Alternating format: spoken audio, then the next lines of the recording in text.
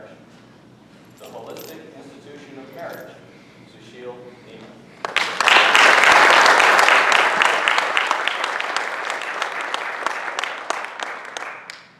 This morning, my wife left for India for one month, leaving two kids behind on my neck. At the airport, seeing tears in my eyes, she asked me, why are you so sad? Why you have tears in your eyes? I said, honey, these are the expression of my joy. Just yesterday, my kid said, Dad, let's take mom out for a dinner. I said, why not? Let's celebrate. Did I say anything wrong? Forget about going out dinner. I did not even get dinner at home. there are many who think that it is inappropriate to make fun of the holy institution of the marriage. And there are, then there are some like me who believe it is the only way we can live in it. I used to think why this is called the institution. A marriage is called the institution because this is where husband loses his bachelor's, wife gets her master's. Guys, friends, this institution is for blind. Marriage is equal to love and love is blind. This is the only institution who gives you certificate right away, marriage certificate, without an expiration date. and what husband and wife do in this, do in this institution? They work on the problem which doesn't exist at all. One day, husband and wife having an argument, and their argument was what we, what our son should become, doctor or engineer. Must be an Indian husband and wife. That's what they think that their kid should become. I can buy, don't mind that. Well, listening their argument, the person came and said, why don't you ask your son itself? And their reply was, he is not born yet. Friends, first two years of these institutions are wonderful. First year, husband speaks, wife listens. Second year, wife speaks, husband listens. Third year, both speaks and neighbor listens. and after some time, this institution becomes a correctional institution. the job of wife to correct husband, husband corrects wife, then in-laws come into picture, and then kids. Mom, it's your fault. Dad, it's your fault. But you can correct your spouse in a very polite way. I'll tell you how. One day, I was with, in the kitchen with my wife, and she was cooking something. And I started telling her, hey, do this, do that, put this pipe, that's pipe, this way, that way. After some time, she lost her patience and said, this is my kitchen, it hurts when you give me the instruction. I said, sweetheart, I feel the same way when I drive and you give me the instructions. now let's talk about husband in this institution. He's a chemical element.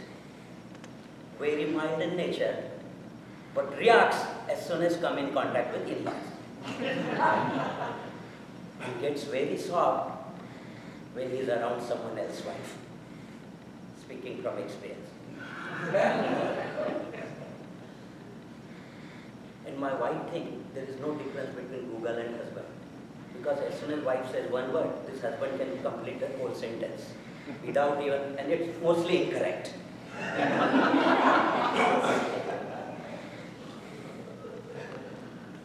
Then comes some expert in this institution.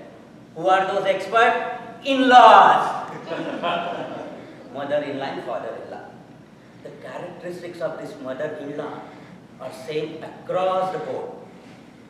In fact, you can unite the whole world on this fact. And then comes father-in-law. Right after my wedding ceremony, my father-in-law came to me and said, son, my daughter is all yours. I said, I know that. But remember, hereafter no exchange, no refund, no warranty.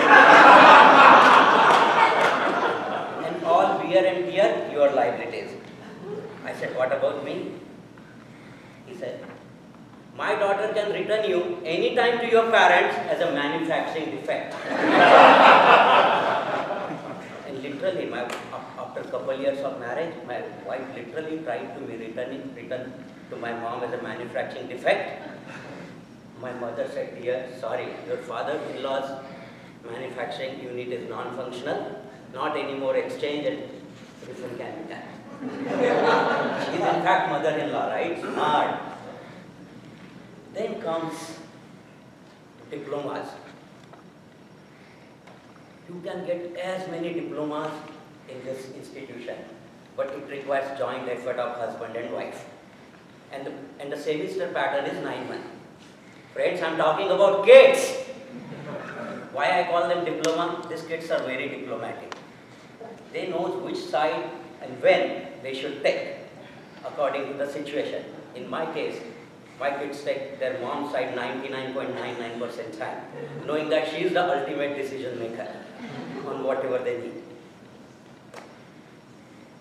And these kids can ask you any question if they want to. My son, one day my son comes to me and says, Dad, how much it costs for marriage? I said, son, I don't know, but I'm still paying for it. this marriage is a workshop where your dad works and your mom shops. and remember, son, you are incomplete until you are married. And then, then you are just finished. well, friends, marriage is a wonderful thing. Marriages are made in heaven, so the thunders and lightning. Marriage is a wonderful melody played on a violin. After melody is over, strings are still attached. I have been married 22 years. Marriage is a respect, love, and trust for your other better half. It's not you love someone because of, but in spite of. Get married. Marriage is a wonderful fruit. Eat it, enjoy it, and welcome to the institution.